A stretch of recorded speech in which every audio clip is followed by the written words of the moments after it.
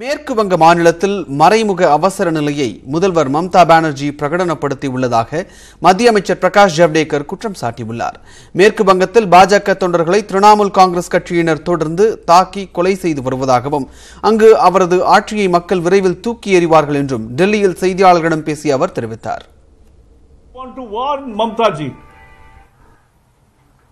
That she is, she has imposed emergency on state of Bengal by every way.